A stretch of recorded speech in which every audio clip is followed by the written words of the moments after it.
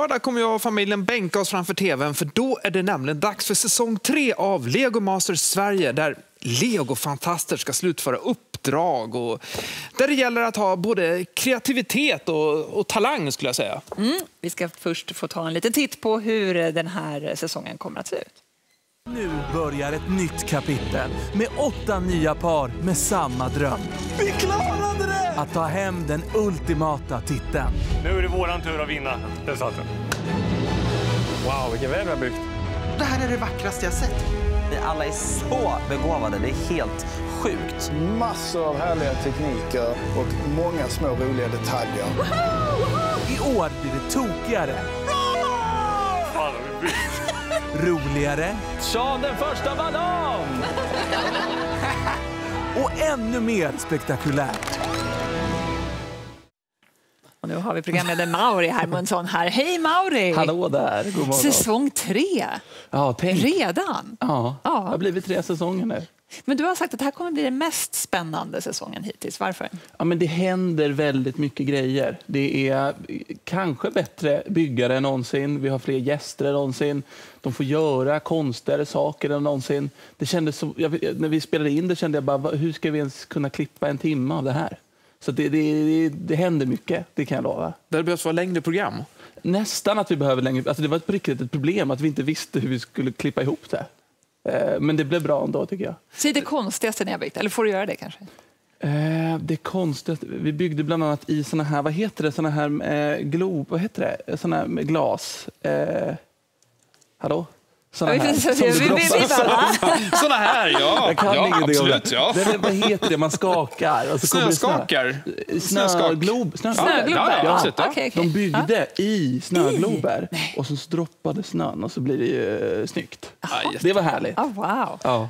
Du, eh, du nämnde själv att det är många gäster som är med i, i det här programmet också. så- så- Tillfälliga gäster den här säsongen. Och vi har faktiskt två med oss på tråden.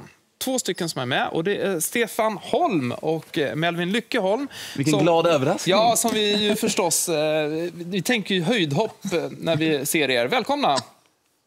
Tack så mycket. Tack så mycket. Ja, men berätta, hur, hur är det för er att vara en del av Lego Masters Sverige? Alltså för mig som legoälskare var det underbart att få dels träffa byggarna och dels få gå runt i legogrottan och bara se hur mycket lego det finns och hur allting fungerar. Och du då Melvin? Var det lika kul som pappa tycker? Ja, det, det är klart att det var väldigt kul. Jag har ju liksom fått växa upp med allt lego här hemma så det var väldigt kul att få se alltså, så mycket lego där också liksom och se andra verkligen tycka om lego så mycket som eh, den här killen gör. Ni är ju båda så här riktiga tävlingsmänniskor förstås och vinnarskallar har ni också. Och Melvin, du försökte ju faktiskt på eh, dig ett eh, världsrekordförsök. Vi, ska, vi har ett litet klipp vi ska titta på här. Vi kollar. För först så ska vi göra oss redo och se Melvin Holm försöka slå världsrekordet i höjdhopp över lego. Det är nervöst när alla står och kollar på en och man vet att eh, Ribban ligger på 1,81. river jag nu då är det inte bara ribban som går sönder, det är ställningen också. Det är klart att det är nervöst. Är du redo? Melvin är redo. Scenen är din. En Melvin, du klarar det här. Fan, kom igen nu. Se ett världsrekord. Melvin, Melvin, Melvin, Melvin, Melvin! To be continued. Verkligen, vi kan inte visa och får inte visa hur det gick, men hur kul var det att få göra det här tillsammans eh, med pappa Melvin? Nej, men det var ju skitkul. Det var alltid kul att hoppa höjdhopp så att det var svinkul. Den där legoribban såg lite böjd ut, Stefan. Skulle den ha godkänts i ett friidrottssammanhang? Nej, nog tveksamt faktiskt. Dessutom är den nog alldeles för tjock för att användas på en riktig tävling. Dessutom så river ju folk på riktiga tävlingar så att eh, det hade varit ett problem det också om det hade blivit för många rivningar till slut. Hur ofta bygger ni lego hemma, Stefan? Nej, inte så ofta just nu faktiskt. Jag har haft en liten downperiod men det, det står här och är redo att användas så snart som möjligt. Ja, det låter bra det. Vad kul! Tusen tack för att vi fick prata med er. Tack själva. Tack. Vi skulle ha sett, sett Stefan när han klev in i, i det här legorummet. Det var verkligen underbart att bara stå och titta på distans när Stefan Holm ser alla legobitar. Den mannen gillar lego. Ja. Men du, när, när du ser lego, Får di- dina ögon tänds det så här Stefan Holm-blänk då? Eller är det så att lego för dig är någonting som är lite mystiskt och lite farligt? Det är lite dubbelt, för dels är ju Lego Lego Masters för mig och det är ju kul. Men Lego är också någonting man förväntas bygga ihop. Och då är det inte så kul längre, för det kan jag inte. Det är världens sämsta plantskola att försöka lära sig bygga lego bland alla de här deltagarna. För jag är ju verkligen värdelös. Men av de här prylarna här, hade du kunnat sätta ihop något själv? För du har ju nämligen inte byggt det här själv. Nej, det måste vi vara väldigt tydliga med. Det här skulle jag liksom inte klara av. Är det ni som har byggt ihop det? Vem har byggt ihop det här? Ja, det är inte vi. tror inte jag skulle kunna bygga ihop någonting av det här. Nej, det tror jag inte. Men när de då springer in i legogrottan så där, är det olika taktik för olika teamen? Eh, Hur man roffar åt sig och hur man eh, liksom påbörjar sitt kreativa byggare? Vad har du lärt dig de här tre säsongerna nu? Ja, vad har jag lärt mig egentligen? Jo, men det är lite olika taktik. Alltså, man glömmer också hur viktig den delen är, att hitta rätt bitar. Tänker, det finns tre miljoner bitar. Det finns så otroligt många olika sorters bitar. Det är ett helt system där bakom en legogruvan där folk hjälper till, hitta bitar. De måste beställa bitar. Eh, Och ibland, vissa bitar är väldigt populära. De så här gröna små som används för gräs till exempel. Då måste man beställa dem fort innan de tar slut. Det är, liksom, det är en hel vetenskap bara att få tag i rätt bitar i det här programmet. Jag har tänkt på det när, när man ser på det här programmet, så du går ju runt och ställer frågor och så.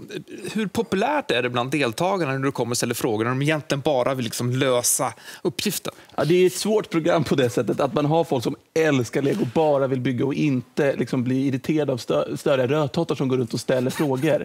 Jag har försökt i, den här säsongen har jag också fått ett, liksom ett konstigt självförtroende på något sätt eftersom jag har gjort det tre säsonger. Att jag ändå känner att jag kan ändå det här lite. Vilket är liksom patetiskt, för det kan jag inte. Att man liksom är så här, kanske lite off cam och går runt med en kaffe och är så här, ska ni inte bygga det där tornet i rött istället? Blinka lite och gå vidare. Och de är så här, vad, vad snackar han om? Det kan vi absolut inte göra. Eh, så det, ja, så håller jag på. Men eh, Mauri, tredje säsongen, hur tycker du att programmet har utvecklats? Jag tycker att vi blir bättre och bättre. Det, det, första säsongen var ju inte perfekt. Vi hade aldrig gjort något sånt här innan i Sverige. Eh, Andra blev bättre och nu tredje tycker jag är vår bästa säsong hittills. Förutom eh, Stefan och Melvin då, eh, Holm, vilka fler dyker upp? Ja, men det dyker upp en del eh, folk som älskar lego fast liksom är, är kändisar. Och det älskar man ju att stoppa kändisar i program, för det funkar ju. Vi har med eh, David Sundin som älskar lego. Eh, fantastisk eh, domarinsats i vårt program. Vi har med massa, massa artister faktiskt, när de fick bygga lite musikteman kan vi säga. Det är Tommy Körberg, Lisa Ajax, Anis. Så att, eh, det kommer lite sånt. Men alla de här eh, kändisarna, har liksom ni väckt deras legointresse? Är det din bild av att det fanns där, etablerat? Det är ändå vuxna människor som leker med lego. Ja, nej men eh, jag uppfattade nog att de flesta ändå var intresserade av lego. Eh, vissa mer än andra. Men det, det, det är ju liksom, på ett sätt kan man tycka att men det är en leksak, varför man är intresserad av det när man är vuxen? Men det är ju, det är ju inte bara en leksak. Om man tänker, alltså, det, det är väl som en pa papper och penna, bara att man ritar i 3D. Så kan man också se det. Det är väl bara ett sätt att uttrycka konst och man får vara lite högtravande. Men ditt eget intresse det har inte riktigt väckts än i varje fall. Utan, eh, du kanske kan testa Det hade-. Duplo istället? Ja, när jag var liten hade vi kapplar, bara små träbitar. Det är sånt jag växte upp med. Ja, men jag önskar att jag kunde... Jag borde väl säga att jag, att jag älskar lego, så det, det gör jag inte riktigt. Men jag älskar ju att se dem bygga lego och vad de kan skapa. Det gör jag på riktigt. På lördag i varje fall, eh, säsongspremiär. Mm, så smäller det. Ja, Det gör det verkligen. Men eh, du har inte så bråttom iväg va, Mari? Du får Nej, stanna kvar och äta lite. Sitt Ja. kvar. Mums. Vi är strax tillbaka.